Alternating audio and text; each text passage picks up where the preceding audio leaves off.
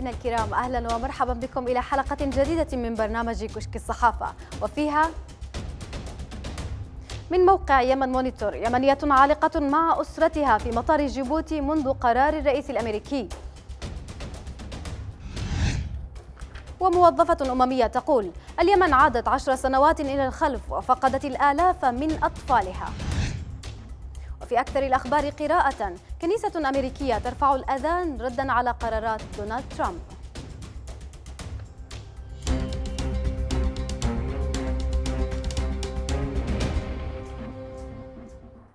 أهلا بكم. تناول موقع الموقع بوست واحدا من الموضوعات التي تهمل أثناء الحروب وعنون الموقع في صفحته الرئيسية.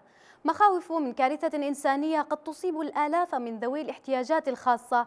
بسبب الحرب. ويقول الموقع تسببت الحرب الدائرة في اليمن بمضاعفة معاناة ذوي الاحتياجات الخاصة خصوصا بعد أن غادرت عشرات المنظمات التي كانت ترعى الآلاف منهم. يفيد الصندوق الوطني لرعاية وتأهيل المعاقين أن الحرب الدائرة في البلاد خلفت خمسة آلاف معاق حركيا إلى الآن متوقعا ارتفاع الأعداد خلال الفترة المقبلة. الاتحاد الوطني لجمعية المعاقين قد أكد في وقت سابق أن أكثر من 350 مركزا ومنظمة ومعهدا خاصا توقف في اليمن بعد نشوب الحرب وانقطاع الموارد. تقول منظمة الأمم المتحدة للطفولة اليونيسف أن اليمن خسر عشر سنوات في مجال الصحة وأطفاله يموتون جوعا.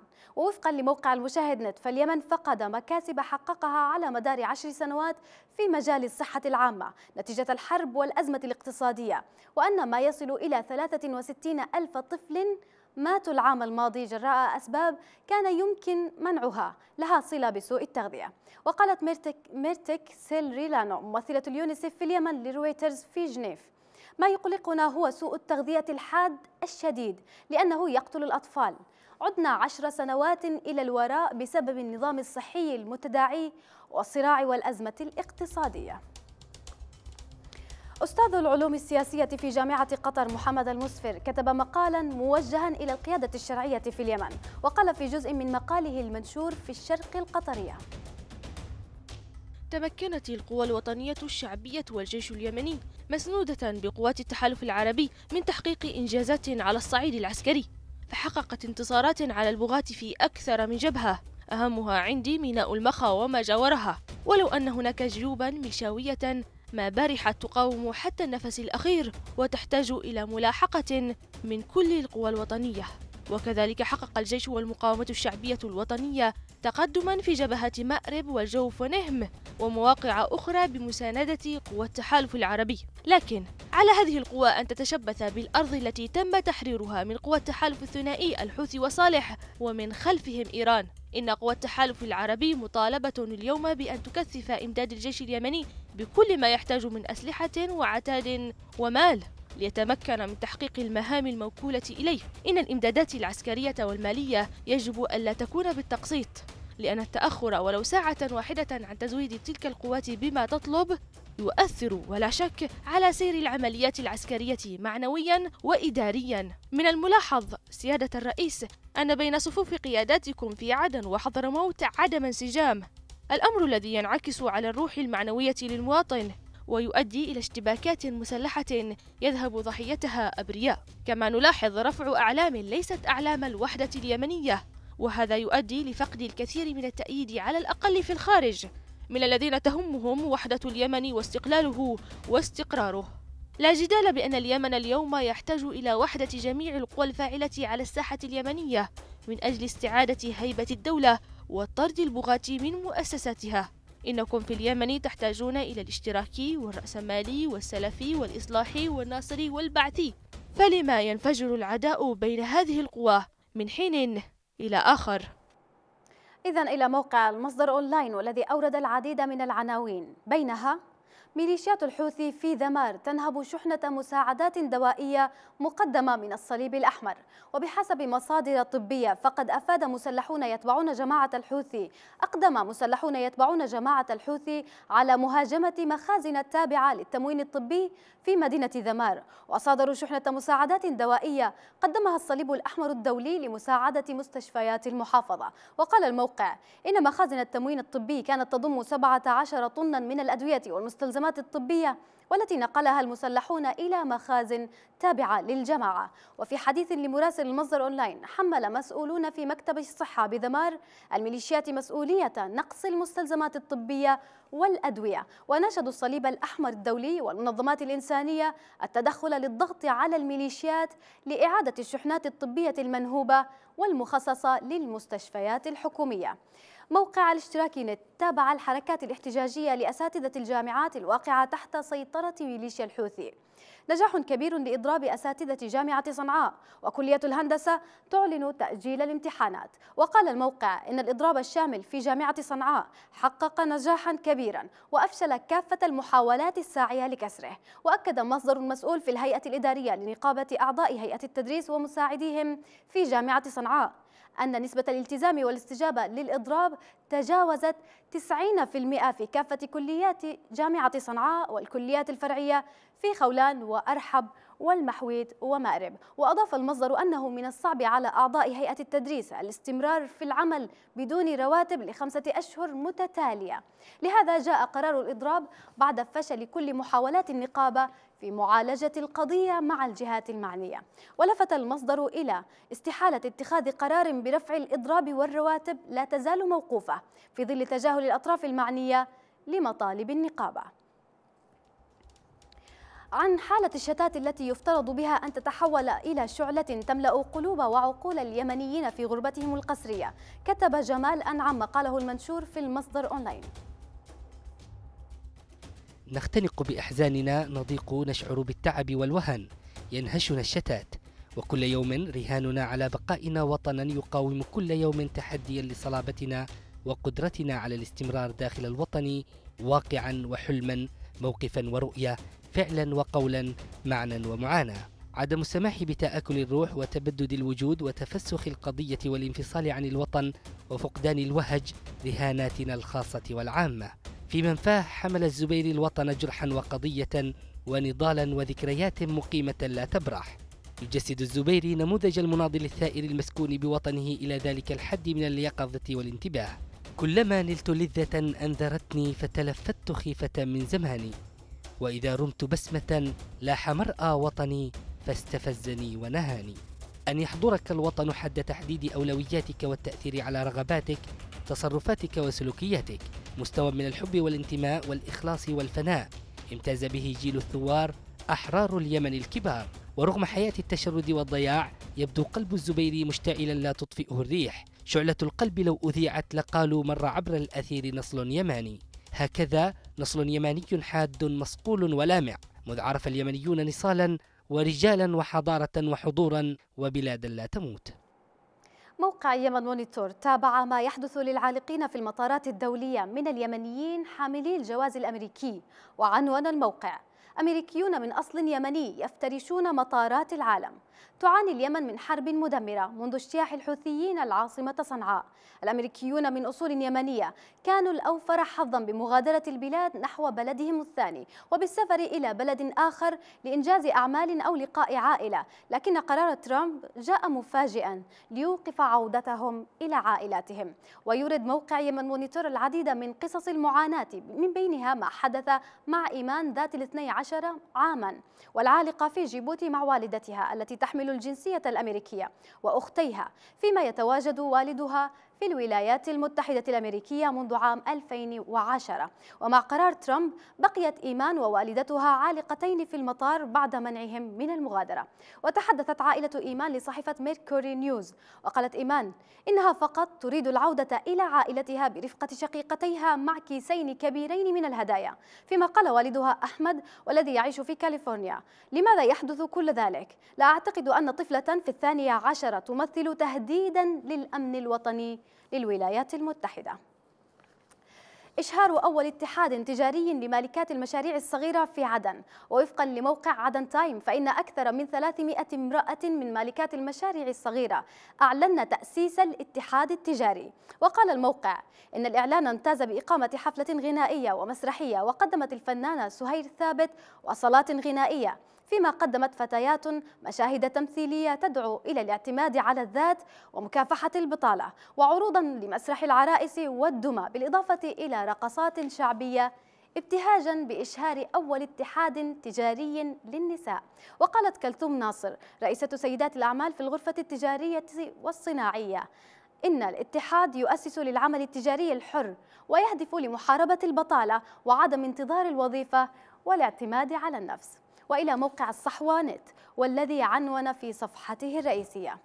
محافظ إب يبطل إجراءات الأوقاف وهيئة الأراضي في المحافظة منذ 2014 وقال الموقع إن محافظ إب عبد الوهاب الوائلي أصدر قرارا يقضي ببطلان كل الإجراءات التي تمت من قبل إدارتي الأوقاف والهيئة العامة للأراضي والمساحة والتخطيط العمراني منذ الحادي والعشرين من سبتمبر 2014 وقضى القرار رقم واحد للعام 2017 بتوقيف مدير عام مكتب الأوقاف بالمحافظة عبد اللطيف المعلمي ومدير هيئة العامة للأراضي من عملهما والتحقيق معهما ومع كل من تورط في الإضرار بالمال العام. يتابع الموقع.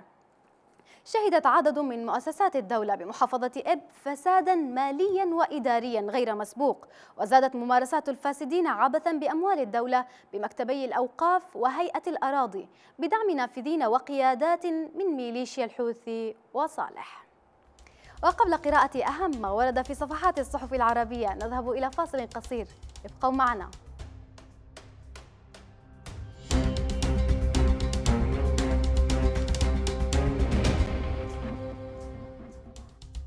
بكم من جديد. صحيفة العربي الجديد قالت في الشأن اليمني مياه الشرب لا تكاد تصل إلى منازل اليمنيين والأسوأ أن الإهمال يؤدي أخيرا إلى اختلاط مياه الصرف الصحي وهو ما وقع في العاصمة صنعاء أكبر مدن البلاد حيث تفاجأ أهالي منطقة مديرية الوحدة وسط صنعاء بتدفق مياه صرف صحي سوداء اللون ناتنة الرائحة عبر الشبكة الحكومية لإمداد المياه.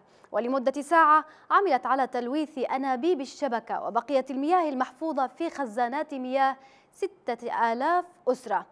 هذه الحوادث هي إحدى نتائج الأزمة المالية التي تعاني منها المؤسسة العامة للمياه والصرف الصحي في العاصمة اليمنية كأسوأ نموذج لإدارة مياه الشرب من المؤسسة نفسها في عدد من المدن اليمنية. وكانت المؤسسة العامة للمياه والصرف الصحي سلمت إنذارا للسلطات بأنها قد تشهر إفلاسها قريبا وتتوقف تماما عن ضخ المياه للسكان إثر سنوات من العجز المالي وتعثر متطلبات الخدمة.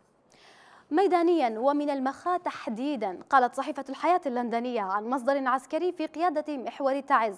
إن عناصر وقناصة تابعين لميليشيا الحوثي والمخلوع محاصرون فيما تبقى من أحياء المخا على الساحل الغربي. وأضاف المصدر أن بقية عناصر الميليشيا يتحصنون في منازل ومحلات المواطنين الذين يتجرعون ويلات الحرب والحصار نتيجة الاحتجاز القسري لتستخدمهم الميليشيا دروعا بشرية. الملك ترامب فيليب الثالث. تحت هذا العنوان كتب الروائي المعروف واسين الأعرج ما قاله المنشور في صحيفة القدس العربي وقال في أجزاء منه ما الفرق بين عام 1609 مع فيليب الثالث وبين 2017 مع ترامب إلا مسافة أربعة قرون؟ وكأن البشرية ظلت مثبتة في أحقادها وممارساتها المدمرة التي تمنع من نشوء أي فعل إنساني. نعيش اليوم زمنا غريبا. يهان المسلمون والعرب ولا رد عربيا لحفظ ماء الوجه.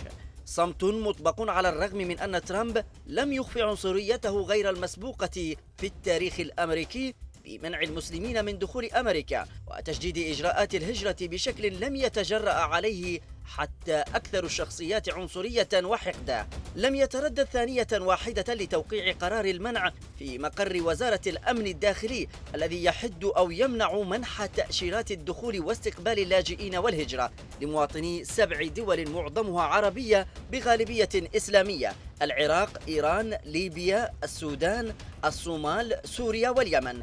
بحجة محاربة الإرهاب كأن الإرهاب البغيض قصر على المسلمين مع أن أمريكا بمؤسساتها الرسمية كانت الراعية الأساسية للإرهاب ولها مسؤوليات كبيرة في تفكيك الكثير من البلدان التي نبت فيها الإرهاب العراق مثلا.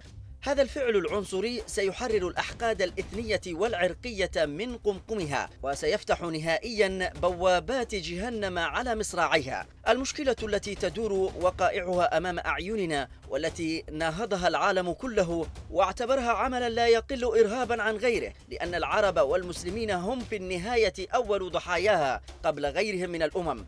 المحزن هو أن ما هو آت أفظع سيتحول العرب كما في الفترة النازية إلى يهود القرن الحادي والعشرين وستفتح لهم المحتشدات في المطارات والصحاري وستنشأ بالتوازي مع ذلك كل المبررات الأيديولوجية لجعل فعل إجرامي كهذا مستصاغا كما في الهولوكوست. من الأخبار الأكثر قراءة في صحيفة القدس العربي جاء بعنوان مئات البريطانيين يراهنون على أن رئاسة ترامب لن تكمل العام. وقالت الصحيفة بعد أقل من أسبوعين على تنصيبه ووسط غضب من سياسته بشأن الهجرة يراهن مئات البريطانيين على أن الرئيس الأمريكي دونالد ترامب لن يستمر سنة في منصبه. وتشير أرقام من شركة لادبروكس للمراهنات إلى احتمال بنسبة 4 إلى 1 لاستبدال ترامب. كرئيس للولايات المتحدة في 2017 وقال رئيس المراهنات السياسية في لاد بروكس إن كثيرين يراهنون أيضا على أن ترامب سيواجه مساءلة في الكونغرس أو ربما يستقيل أثناء فترة رئاسته الأولى.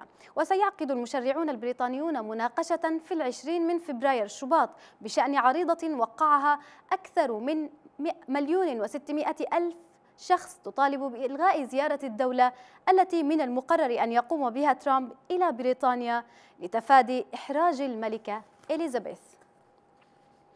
قالت صحيفة الاتحاد الإماراتية في أحد تقاريرها إن العالم يخسر يخسر 1436 مليار دولار بسبب المدخنين. وتقول الصحيفة إنه في العام 2012 كان التدخين مسؤولا عن أكثر بقليل من مليوني حالة وفاة لدى البالغين بين سن الثلاثين والتاسعة والستين في العالم أي حوالي 12% من إجمالي الوفيات المسجلة في هذه الفئة العمرية بحسب ما أظهرت الدراسة. وتتحمل أربع دول هي الصين والهند والبرازيل وروسيا. ربع الكلفة الاقتصادية الشاملة للتدخين. وإلى أكثر الأخبار قراءة في صحيفة الإمارات اليوم والتي عنونت. كنيسة أمريكية ترفع الأذان ردا على قرارات ترامب. وقالت الصحيفة صدح صوت الأذان عاليا وسط مدينة بوسطن الأمريكية حيث تجمع مواطنون عبروا عن فرحتهم لسماعه. تضيف الصحيفة وتجمهر المئات من الأمريكيين في الساحة المحاذية لكنيسة ترينيتي للمشاركة في الاحتجاج على الأمر التنفيذي القاضي بوقف منح تأشيرات دخول لرعايا سبع دول للولايات المتحدة الأمريكية. ثقافة الأسوار العازلة. تحت هذا العنوان كتب خيري منصور في صحيفة الخليج وقال في جزء من مقاله أليست مفارقة تاريخية ووجودية أن تشيد الأسوار العازلة لمختلف الأسباب الأمنية والعنصرية؟ في عصر يتزايد فيه الكلام عن العولمة والإنسانوية الجديدة التي بلا حدود. ففي الماضي البعيد لم يكن سور الصين العظيم قد بني لأسباب من طراز الأسباب التي تبنى بها أسوار أيامنا. لأن الصينيين كانوا يدافعون عن بلادهم ضد الغزاة الطامعين. والأسوار ليست كلها من حديد وأسمنت وحجارة. إنها أحيانا من مفاهيم بحيث تعلو مدامكها في الدفاع وليس على الأرض. وبالفعل هناك في عالمنا المعاصر أسوار لا ترى بالعين المجردة لكنها تقبع في الرؤوس حين يشعر مجتمع ما بأنه يعيش في ذروة العزلة. وهذا هو بالتحديد مفهوم الغيتو. وذات يوم طرح في العراق مشروع تشييد سور عازل بين الأعظمية والكاظمية وهما توأمان رضعا من الثدي ذاته ورواهما النهر ذاته. وإن استمرت هذه المتوالية من أسوار العزلة فإنها ستؤدي حتما إلى انكفاء مجتمعات داخل شرانق أيديولوجية. ورغم أن العالم احتفل بهدم سور برلين وبيعت قطع صغيرة من الحديد العالق للسياح على سبيل المثال وبيعت قطع صغيرة من الحديد العالق به للسياح على سبيل الذكرى إلى أن ذلك الهدم لم يكن بشارة أو فالا حسنا لأنه لم يكن آخر الأسوار. المفارقة أيضا أن هذه الأسوار تبنى وتعلو في زمن العولمة وكأن بعض الظواهر تفرز نقيضها تماما كما أن الانفراط في الحديث عن حقوق الإنسان انتهى إلى انتهاكات وإبادات وقبور جماعية وتطهير عرقي. مع اختلاف ثقافات الشعوب تتنوع كذلك الأديان والمعتقدات. ففي الصين يحتفل الصينيون برأس سنتهم الجديدة بمظاهر بهيجة وممتعة. نتابع معكم هذه الصور المنشورة في صحيفة الشرق الأوسط.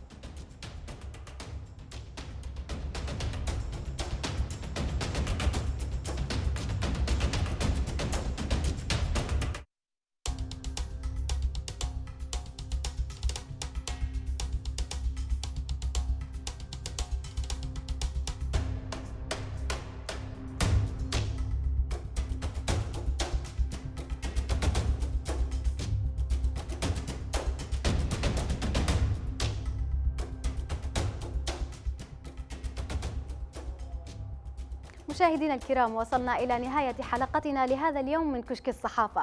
نترككم مع مجموعة من رسوم الكاريكاتير. إلى اللقاء.